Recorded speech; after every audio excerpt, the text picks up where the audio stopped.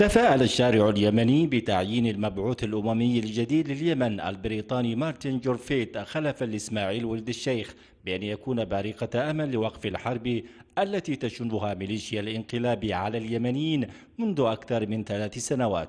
ويرى مراقبون أن الحوثيين لم يلتزموا بالاتفاقيات السابقة التي كانت توقع بينها وبين الحكومة الشرعية اليمنية. طبعا المعروف عن الجانب الحوثي الجانب الانقلابيين هو نقضهم دائما لأي اتفاقيات اتفاقيات سلام أو اتفاقيات سياسية أو حلول سياسية كذلك ورفضهم الدائم لها.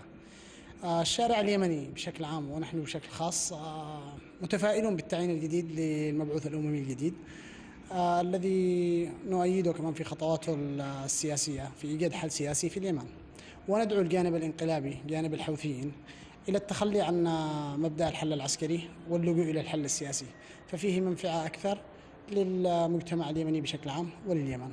الحكومة الشرعية اليمنية رحبت بتعيين المبعوث الأممي الجديد. أطالبت ميليشيا الانقلاب بضرورة الالتزام بالاتفاقيات والمرجعيات الثلاث ووقف العمليات العسكرية التي تشنها ميليشيا الانقلاب. وفك الحصار على المناطق المحاصرة وإدخال المساعدات الإغاثية والطبية.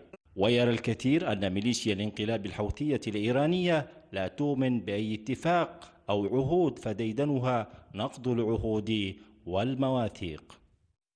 يأمل الجميع هنا بأن يستطيع المبعوث الأممي الجديد إيقاف الحرب التي تشنها ميليشيا الانقلاب وأن يلزم الميليشيا الحوثية بالاتفاقيات وأن يكون مبعوث أمل لإنهاء الأزمة اليمنية.